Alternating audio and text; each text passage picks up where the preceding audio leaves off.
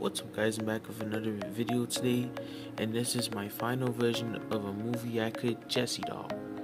So yeah, this is my movie accurate Jessie doll. I just did a head swap with her because she had a Toy Story D head. Her head is made of, yarn is made of plastic so I just switched it out. Put the Signature Collections head on this Toy Story D soft and huggable body and it looks good. Looks pretty much movie accurate. Also, I took the Signature Collection Jessie um, Calco chaps and just put on this one. The Toy Story D one was not my favorite because it was fading out the um, chaps. But this one um, lasts longer this doll. It looks pretty good. And she looks way movie accurate. She looks a bit skinnier like you see in every Toy Story movie. The buns look good on her, her sleeves, her belt buckle, and everything else. And let's see the back view of her.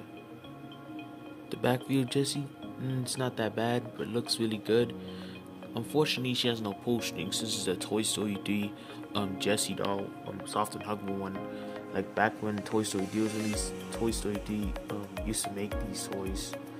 Actually, it was Thinkway's toys, but she has no voice box. But it doesn't really bother me because I just noticed this um, right now that in every Toy Story movie, Jessie never got a pull string pulled, so we don't know what phrases she's supposed to say.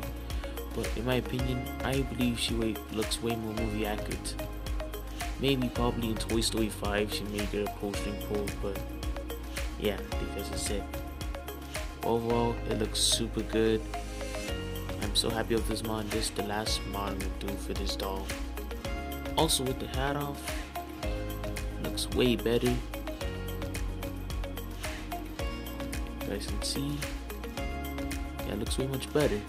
You probably be noticing how did I get the voice box out of her head? Well the good news the voice box still works. All I had to do was just unscrew her head because there was a screw inside of her head and I just forgot there's a speaker inside of her head that was connected to the voice box.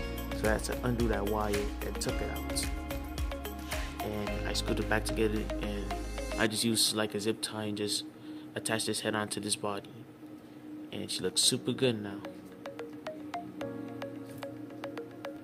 Also for fun, I just want to um, see what Jessie looks like when she's next to Buzz Lightyear and Sheriff Woody, and they all look good together. And Jessie looks a little bit shorter than Woody, but at the same time, she looks way much movie accurate scale. And yeah, this is my final view of a custom mod movie actor from Jessie.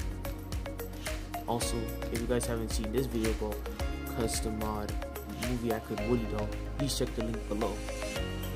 And for Buzz, um, I already customized the Space Ranger logo because ever since I first got him in, on eBay, he didn't actually came with that. Some of the stickers are ripping off. Plus, I had to put the laser on back on his arm and the Space Ranger logo. Lightyear was still okay, but it was all fine for now. Overall, I'm so happy of this mod. It looks like I just grabbed um these toys out of the movie and they look just like they're supposed to look like in the movie Toy Story.